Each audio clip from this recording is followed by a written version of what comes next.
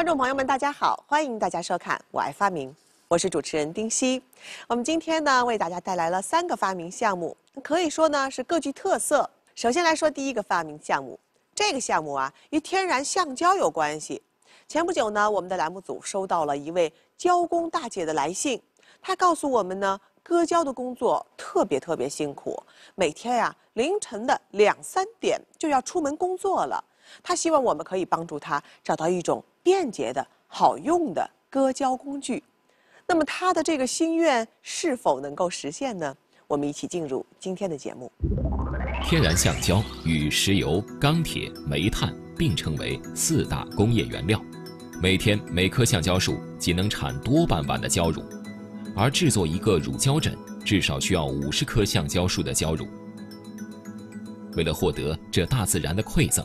割胶工需要用一把三棱形的胶刀，在橡胶树的肚皮上斜着划出一条弧线，割破乳管，胶乳就会顺着割面流入胶碗中。而每天凌晨两三点是一天中排胶量最多的时候。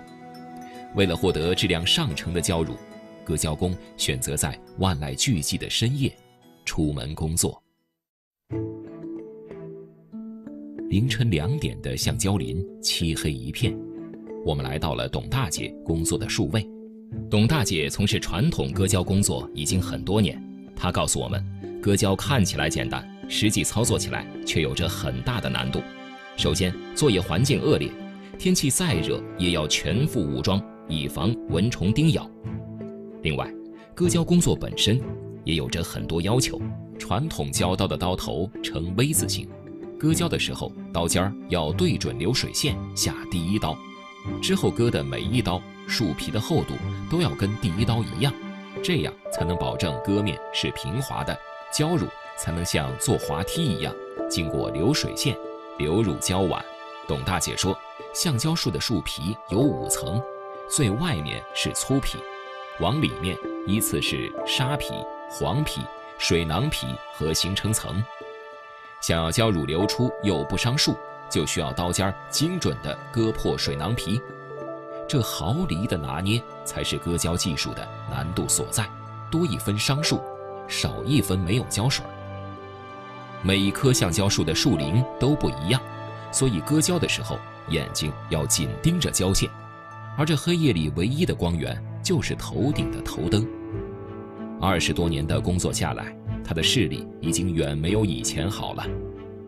恶劣的工作环境无法改变，但方便的工具至少能减轻工作的负担。究竟记者能不能找到让董大姐满意的电动胶刀呢？记者多方探寻，了解到，海南儋州的中国热带农业科学院橡胶研究所正在做这方面的研究。发明人曹建华，发明项目电动胶刀。曹建华现年四十四岁，博士毕业后长期从事热带农业生态方面的科研工作，并小有成就。但他在工作时经常听到工人反映，希望有人解决割胶机械的问题，所以他毅然放弃原有研究方向，申请成立了电动胶刀课题组。经过大家的不断努力，终于一把电动胶刀做出来了。曹建华发明的电动胶刀。由手柄、传动装置和刀头三部分组成，采用一把电动螺丝刀的动力源驱动，通过传动装置把动力传至刀头。切割方式为立式旋切。割胶时，通过刀片外圈的限位器限制切割深度，耗皮量厚度由刀片和限位圈上缘的落差控制，从而降低割胶的技术难度。这把电动割胶刀能不能很好的完成割胶工作呢？我们打算实际测试一下。我们随机找了一棵橡胶树，电动胶刀的第一次亮相，效果如何呢？哎，他好像不太听您的话啊。第一次测试电动胶刀的表现并不好，我们换了一棵树又试了一次，结果还是一样。由于动力不足，电动胶刀根本无法将树皮割破。看来真是隔行如隔山。仅仅因为动力不够，这台机器就夭折了。回去以后，曹建华赶紧组织大家对机器进行改进。经过一番努力，机器有了脱胎换骨的改变。新一代电动胶刀，切割刀头为立式旋切，通过软轴、万向节、锥齿和涡轮涡杆改变传动方向，在电机带动下，在水平面做圆周旋转切割。切割时，刀头特殊的圆环状限位保护装置。有效控制了切割深度和耗皮量厚度。我们打算实地测试一下。这一次，我们联系了专业胶工董大姐，她会认可这台机器吗？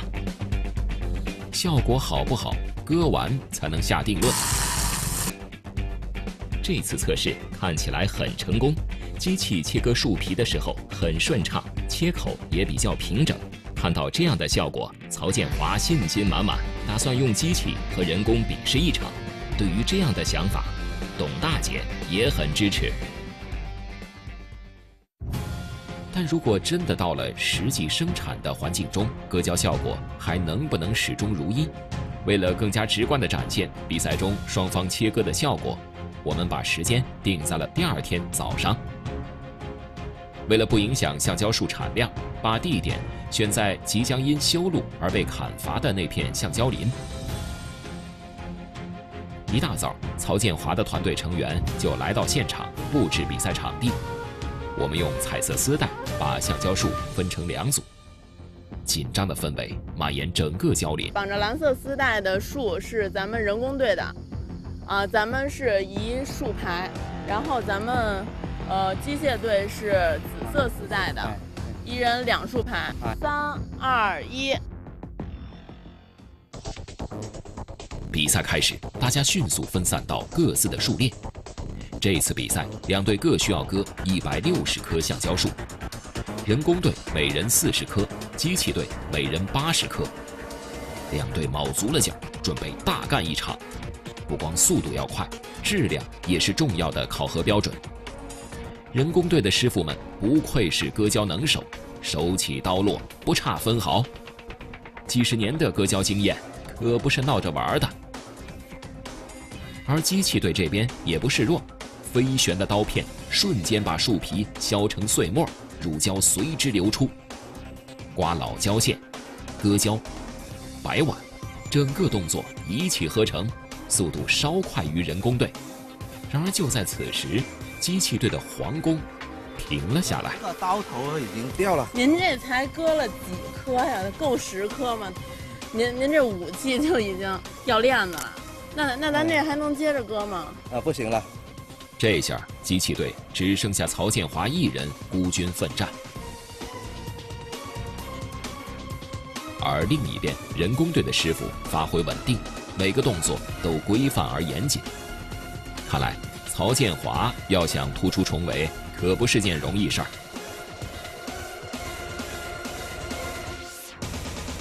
刚才我割的时候一着急就忘记撕老胶线了，结果老胶线就缠在上面了。屋漏偏逢连夜雨，一直遥遥领先的曹建华也出现了失误，看样子是要清理一会儿了。撕老胶线同样也是人工队不能省略的步骤。割胶前，师傅们会先清理胶碗和胶线，把已经凝结的胶放进他们腰上系着的桶里。曹建华的忙中出错，给了人工队反超的机会。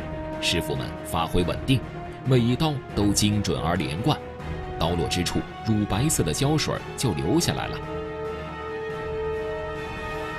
大姐，我看您割胶，眼睛聚精会神地盯着这个胶线。好，稍微一走神就会把树割割坏了，是吧？比赛进入尾声，师傅们以最快的速度进行冲刺。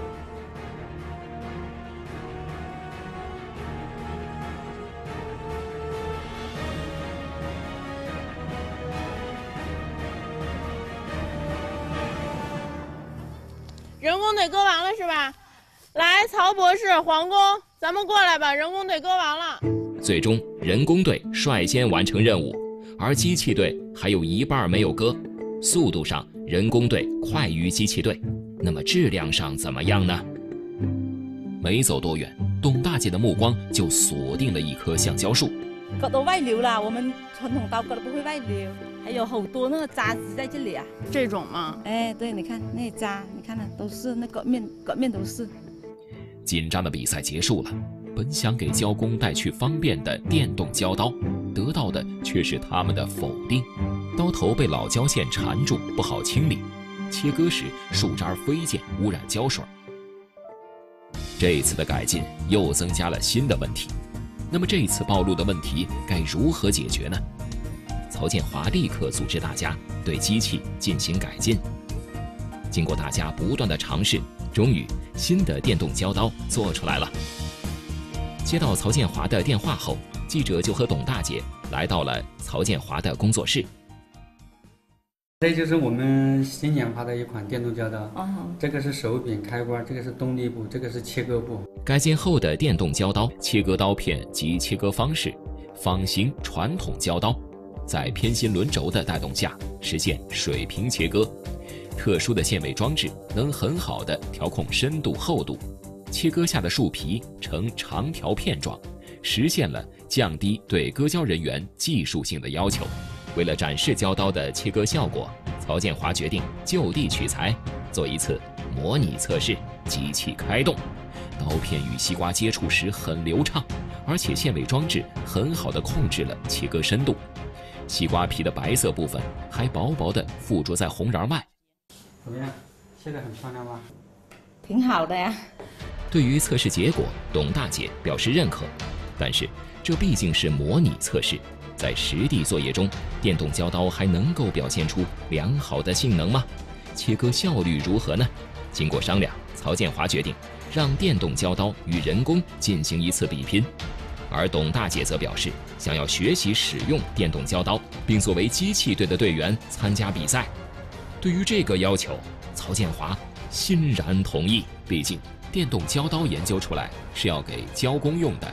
所以究竟好不好用，得胶工说了算。那么这第一个试用人就非董大姐莫属了。只是比赛临近，短短几天的培训，她能掌握电动胶刀的要领吗？如果操作不熟练，很有可能会拖机器队的后腿。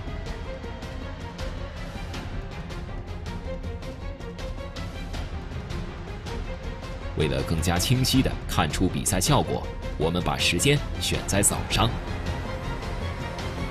两队队员都整装待发，大家信心十足，看来一场恶战即将来临。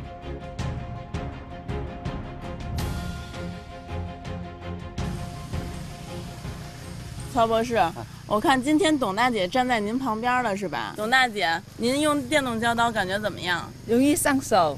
又比那个传统胶刀割得快。人工队的师傅每人四十株橡胶树，然后呢，机器队是每人八十株。看一眼质量、速度和排胶量。三二一，比赛开始。好，比赛开始，机器队抢先跑到自己的树列，看架势是要赢在起跑线上。电动胶刀割起橡胶来，也如割西瓜一样轻松，切割的树皮打着卷儿就下来了。洁白的橡胶随即而出，人工队这边，师傅们下刀稳准快，刀落胶出，毫厘中的把握是多年的经验积累。机器队动作麻利，很快就完成了十多棵树的割胶工作，动作流畅而有序。董大姐的操作得心应手，真不像才学了两三天的样子。您用惯了传统胶刀，再用这个操作上有什么不习惯吗？习惯了，很好割的，很容易上手的，没事的。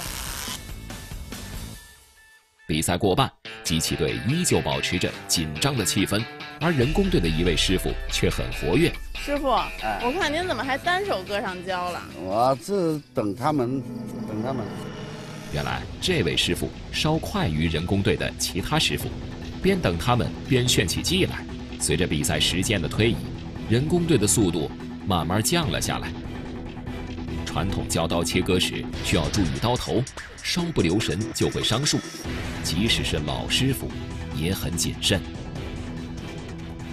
大姐，我看比赛刚开始，您的速度还算挺快的，现在怎么有点慢下来了？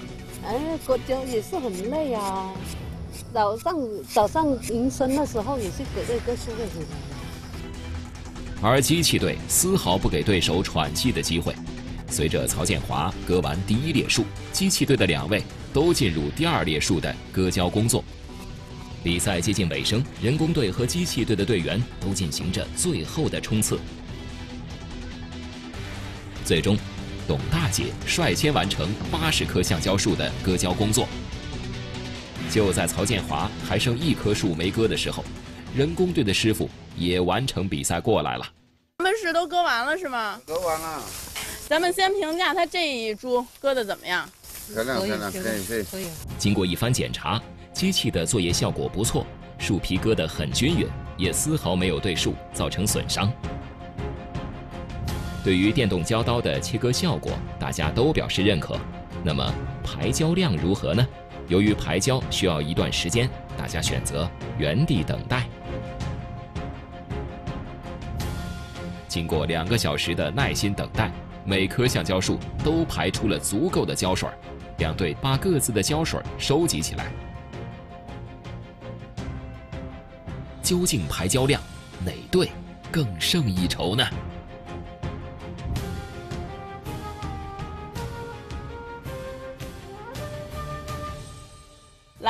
那咱们对比一下这个排胶量。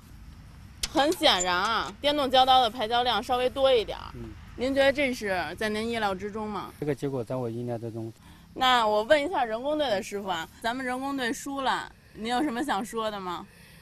我挺高兴的，输的也挺高兴的，因为有机会我就我们就可以用电动胶刀割，挺轻松的。咱们为曹博士鼓鼓掌，好吧？好，不容易。经过努力，曹建华发明的电动胶刀获得了大家的。一致好评。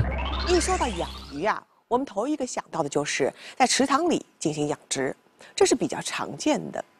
但是啊，在一个大箱子里养鱼，这个您肯定没见过。接下来呢，我们就带大家呢来感受一种全新的养殖方式。我们赶紧去看一看。我们常说无鱼不成宴，逢年过节、喜庆筵席及亲朋好友团聚，总少不了一道鱼肴。透着喜庆气儿，传达着人们年年有余、富贵有余的美好愿望。而我国也是世界上池塘养鱼最早的国家。哎，您好。哎，您好，您好。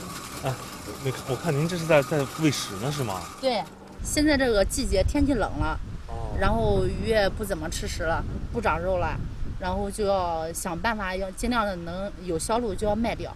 每到快入冬的时候，鱼塘主傅师傅需要将自己池塘里的大鱼们尽快出售，否则来年鱼变瘦了，就无法卖出好价钱了。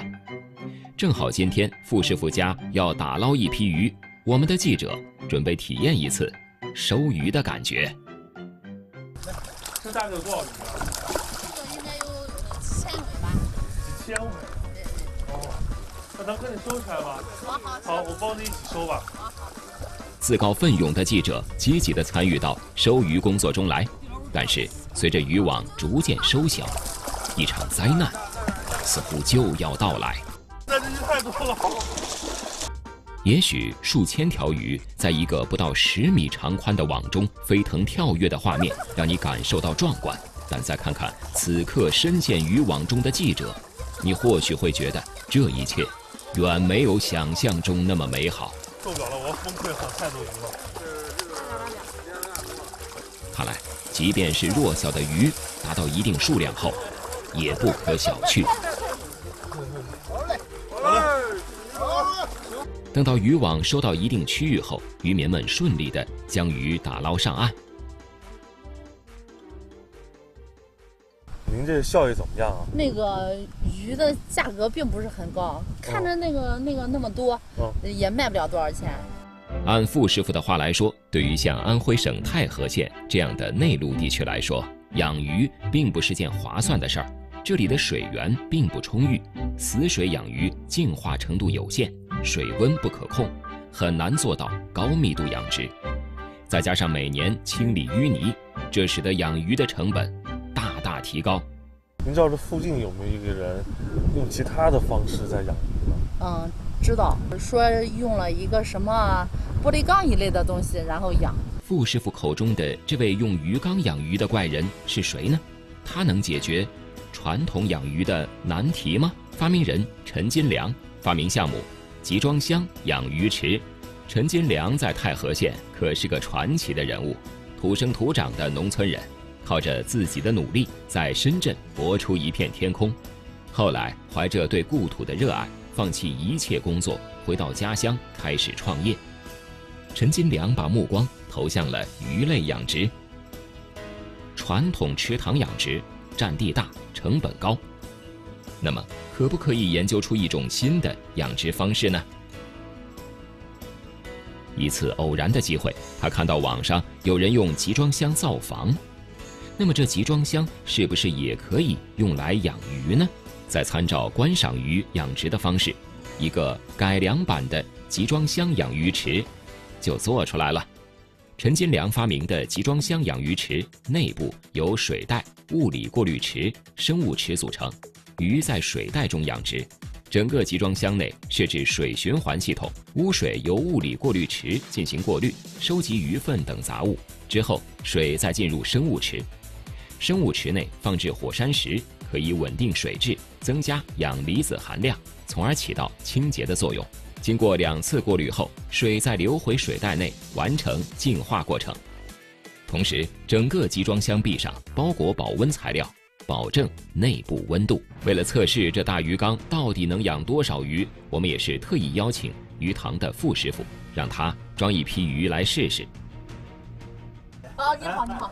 我看您这来一辆车哈，里面有多少尾鱼啊？装了一千多尾罗非鱼。我们这箱子之前养。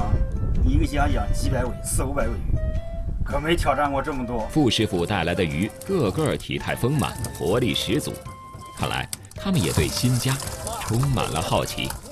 这集装箱真的可以完成测试吗？一周后，记者来看鱼的养殖情况，可是眼前的一幕让人触目惊心：几十条鱼一动不动地漂浮在水面，还有一部分鱼则静止沉在玻璃箱底角。已经失去了原本的活力。那现在您在这干嘛呢？我在清鱼，里面还有死的，还有死的。当记者进入集装箱内后，鱼的死亡情况远比想象中要更严重。许多刚死的鱼都开始沉入水底部，还有的鱼奄奄一息，感觉随时都会飘起白肚。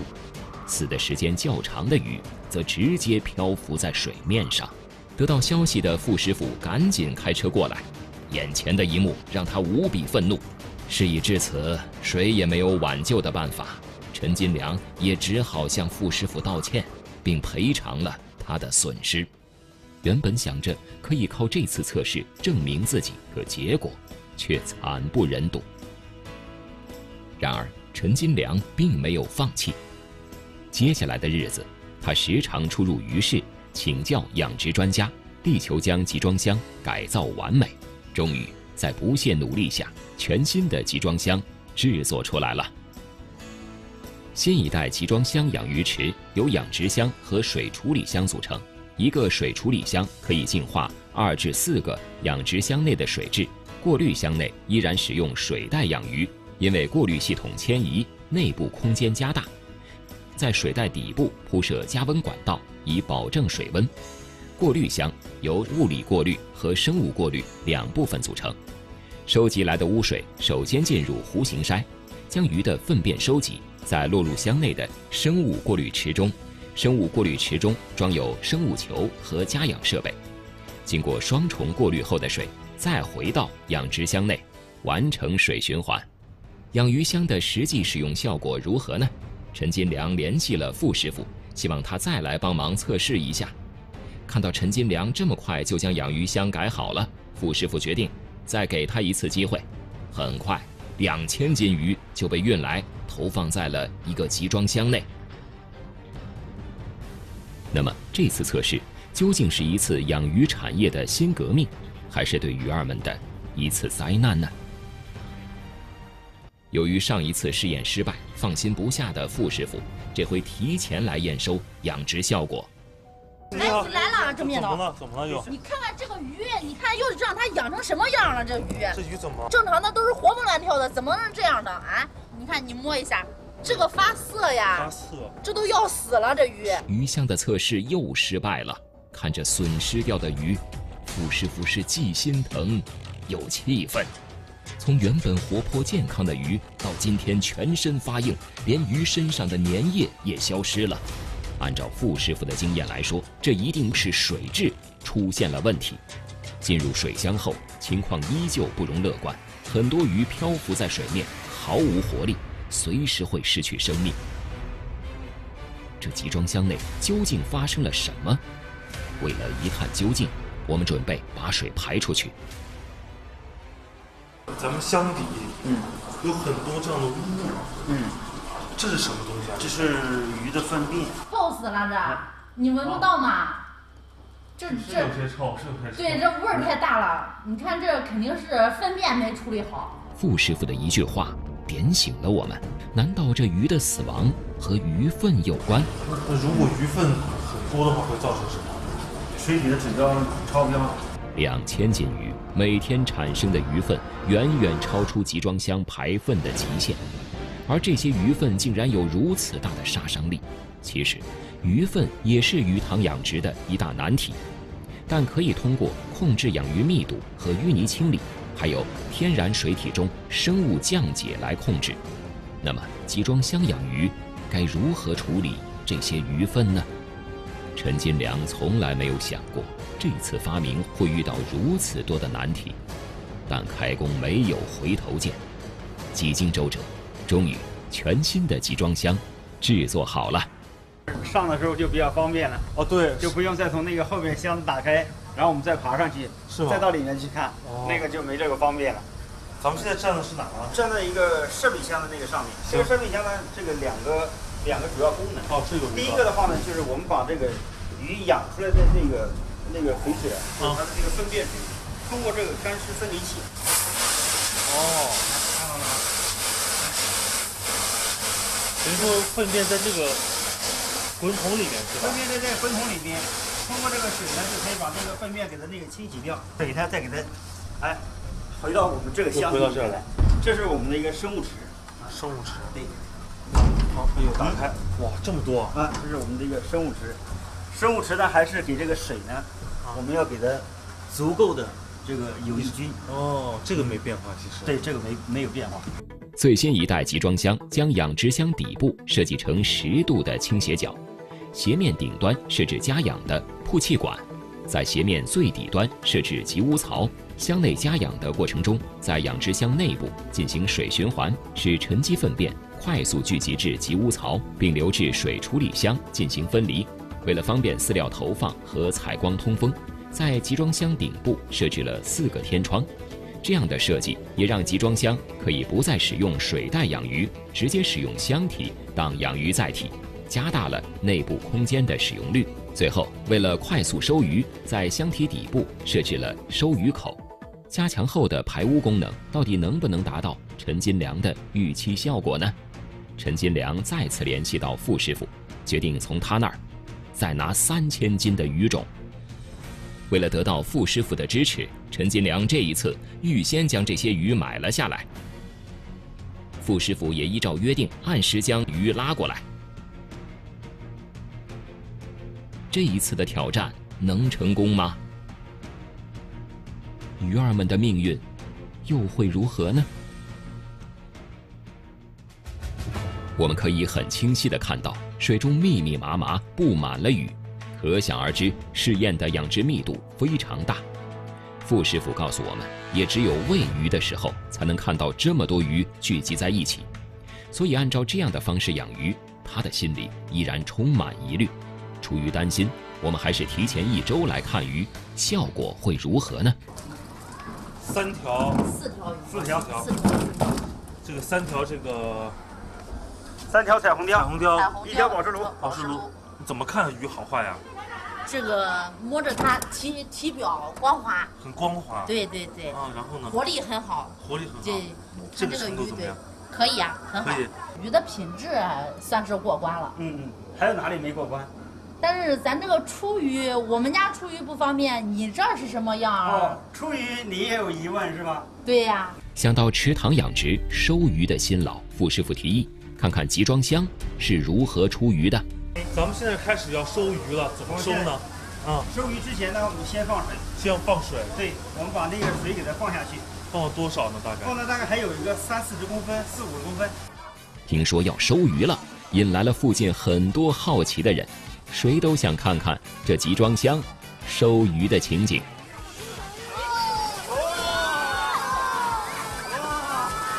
随着收鱼阀打开，上千斤的鱼一涌而出，鱼翻腾着从收鱼轨道滑入准备好的鱼箱中，场面极其壮观。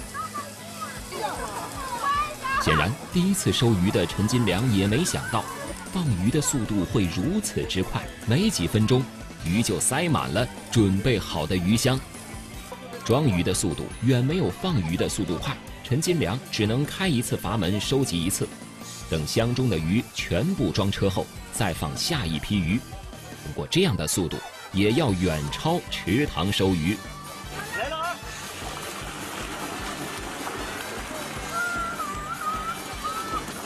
围观的群众之前谁都没有见过这样收鱼的情形，纷纷拿出手机记录整个过程。我看咱们那是最后一筐鱼都收起来了哈。您看我们这收鱼多方便，打开以后鱼坐着滑梯，很快呼啦啦啦啦啦全出来了。这如此高效的收鱼，也让养鱼专业户傅师傅刮目相看。看看人家这收这鱼怎么样？从这个时间上，嗯，很明显的就能看出来。不用说，从傅师傅的表情就能看出，他对养鱼箱的表现十分认可。终于，经过不断改进。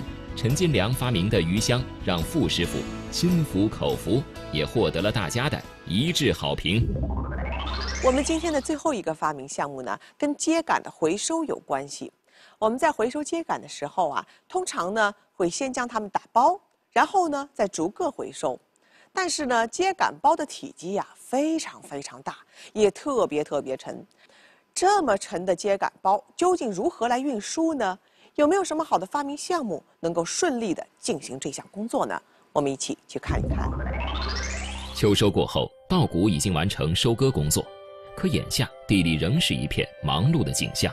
当地农民正在紧锣密鼓对秸秆进行回收工作。近年来，国家大力倡导秸秆回收，焚烧秸秆既污染又浪费。回收秸秆不仅环保，还可以合理利用资源。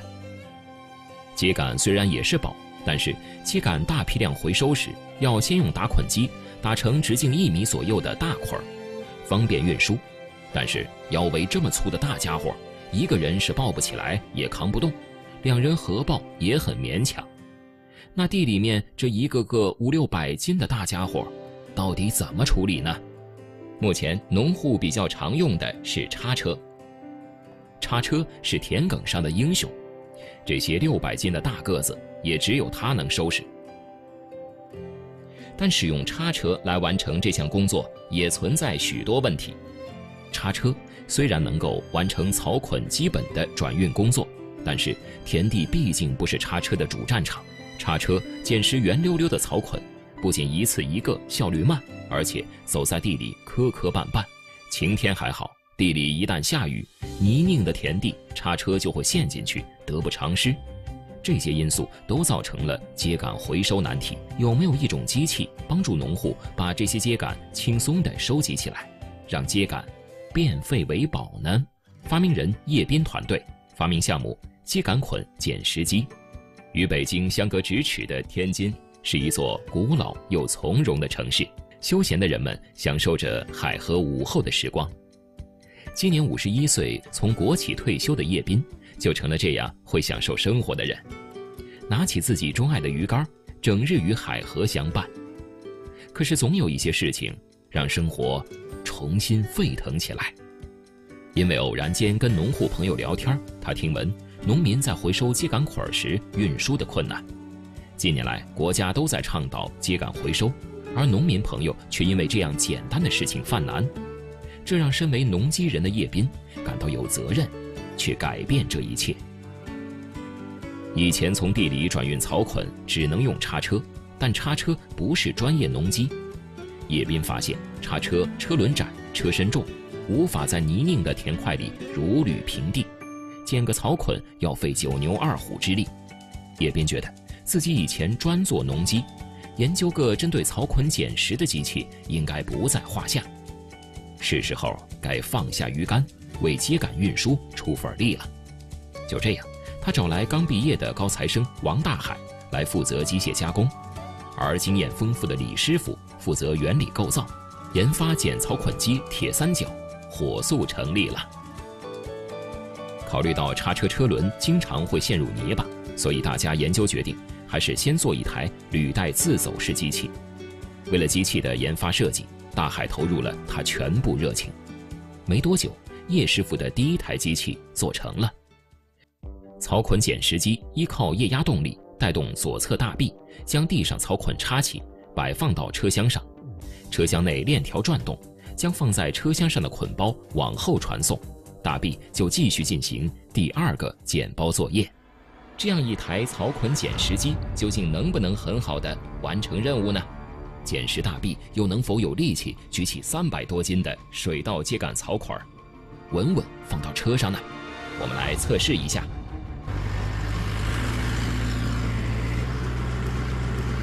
实际操作中，我们可以看到，剪包机拥有强健有力而不乏灵活的大臂，两根特制的外八字插头，在液压油缸的支撑下，可以轻松插起粗壮的草捆，稳稳当当地抛到车上，一次运输多个，比传统叉车灵活机动，效率又高。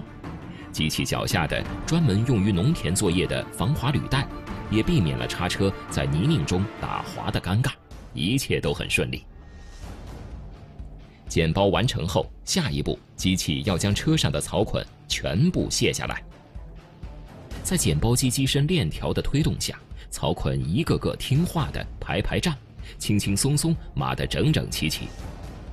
机器看起来很好用，剪包放包都很流畅。但就在这时，叶师傅发现了一个问题：由于机器卸包的时候，草捆都是立着落在地上，这个过程将草捆包的外部。全都给破坏掉了。怎么避免拉破包？怎么让草捆始终横着放？技术员们带着一肚子问题回去了。回来之后，叶师傅三人加班加点，投身机器的改进。既然上一代机器主要问题是链条推动的时候容易被拉破包，那选择怎样的推捆方式，就成了叶师傅团队主要要攻克的难题。为攻克这个难题，叶师傅团队废寝忘食，不知多少次讨论着忘了吃饭。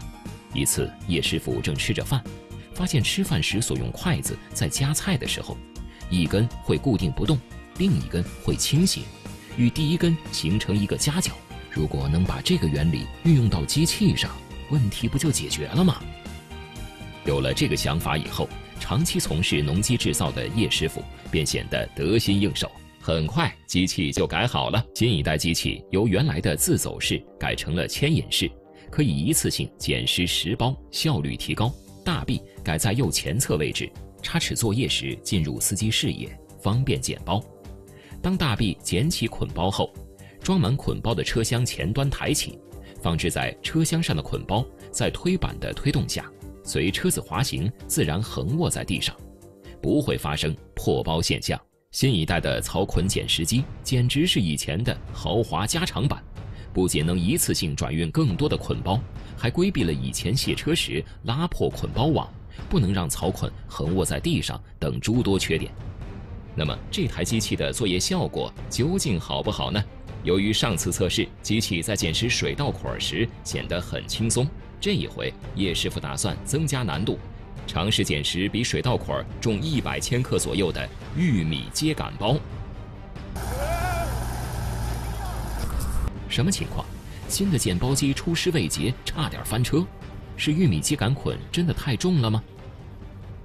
叶师傅不愿意放弃，我们司机师傅大着胆子再试一试。结果究竟如何？玉米秸秆打成的捆原本就比水稻秸秆重。更严峻的是，昨天刚刚下过雨，吸满水分的玉米秸秆捆何止四百公斤。这对刚刚下地的剪包机来说是个前所未有的考验。第二个包，剪包机举起的非常勉强。倔强的刘师傅不愿意停手，连续向第三个玉米秸秆包挑战。但是这回，机器的大臂似乎再也无力举起这样的重物，机身随时都有侧翻的风险。这回测试，机器失败了。这一次剪包机的问题集中在大臂不能举起沉重的玉米秸秆上，而玉米是天津周边地区最主要的农作物之一，这一个拦路虎必须铲除。如何让剪包机大臂变得强壮有力、力能刚顶呢？除了升级材料以外，叶师傅研究起了杠杆原理，试图从力学结构上增强大臂的力量。这一次，团队希望增加捡拾大臂的力臂。为了配合力臂，发明团队特地研制了更灵活、更耐磨的圆弧关节，让剪包机适应高强度、重复性的工作。为了最终成功，大海。投入了全部的热情。新的剪包机拥有了加强版钢铁臂膀，经过发明团队的共同奋斗，新一代剪包机终于在秸秆回收期之前完成了。这一代剪包机在机器各个部分都进行了加固，每个部件都进行了精心的设计。改进好的机器究竟能不能把沉重的玉米秸秆包捡起来呢？我们要实际试一试。机器开进地里，由于刚下过雨，地里有些泥泞，这样的环境会不会给机器带来困难呢？我们拭目以待吧。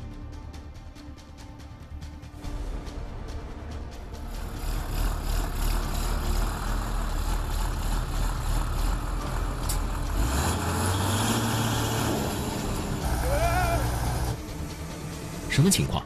机器刚捡拾第一个捆包就翻了出去。叶师傅告诉我们，这是由于司机操作不当，太过用力造成的。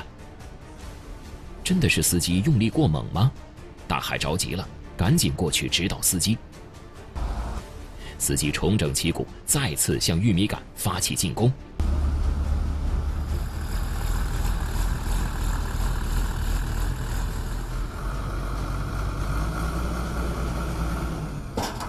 好。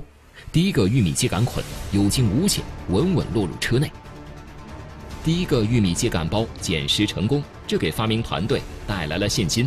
但是，能不能够连续作业呢？我们还得继续看一看。机器大臂不仅结实有力，而且大臂外侧的叉齿也做成了加宽的三角造型，不用担心歪七扭八放置的槽捆。剪包机出色完成了一车秸秆的转运工作，秸秆捆完美落地，机器测试很成功。接下来，叶师傅打算将机器开出去，跟当地的农户比拼一场，让大家见识见识机器的威力。经过一番联系，叶斌找到了当地农户鲁师傅，一场大战就要开始了。这场比赛，机器对战传统叉车。现场共有秸秆捆二十八包，双方入场争夺，捡得多的一方获胜。到底谁能更胜一筹呢？一场众人瞩目的抢包大战在辽阔的田野上打响了。比赛一开始，鲁师傅就凭借叉车车身小、方便灵活的特点，率先抢跑到了最前面。放下叉子，调整好位置，叉起包是稳准狠。不一会儿，叉车就已经抢到了两包，放到了自己的指定位置。再看叶师傅的机器，改进后的长车身虽然能够装载更多捆包，但是在转弯时候就显得特别笨拙。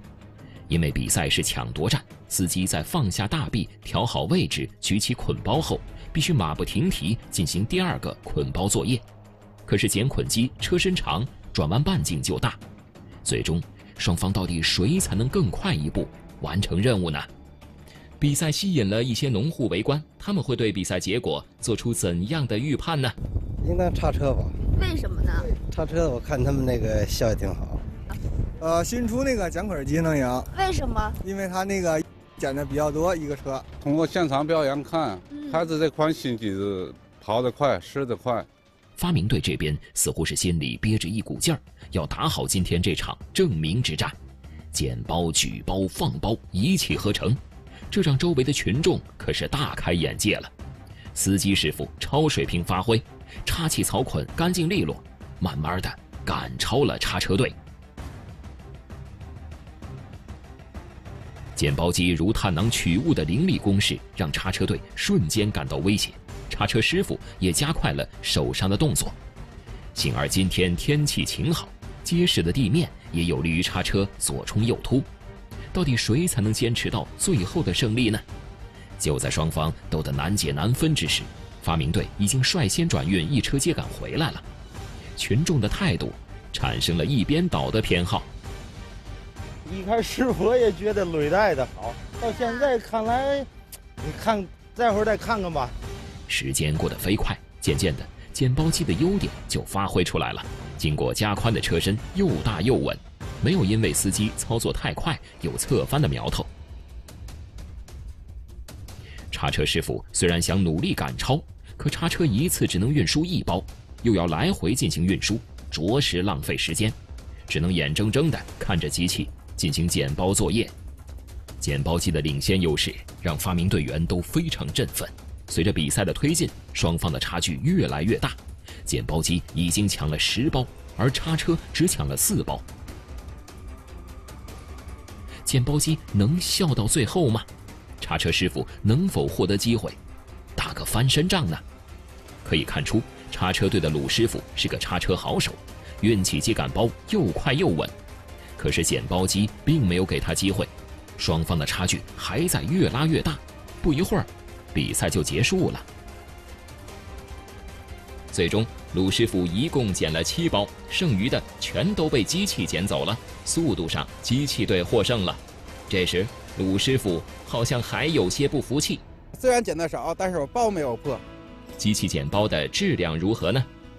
经过一番仔细的检查，机器捡的秸秆包没有任何破损，鲁师傅也心服口服。终于，叶斌团队发明的秸秆捆捡拾机获得了大家的一致好评。好了，亲爱的朋友们，以上就是今天节目的全部内容了。欢迎大家关注“我爱发明”的官方网站和新浪微博。也欢迎大家继续关注科教频道其他精彩节目。我是丁西，下期节目再见。植物的人工辅助授粉是提高农作物产量和品质的方法之一。传统的方法耗时耗力，操作过程中极易伤害花朵，造成果实畸形甚至减产。什么样的发明可以替代人工，高效完成辅助性授粉过程呢？陕西省西安市周至县的杨建发明的自动授粉枪，经历了三代的改进，实现了人工辅助授粉的自动化操作过程。敬请收看《我爱发明》，授粉有道。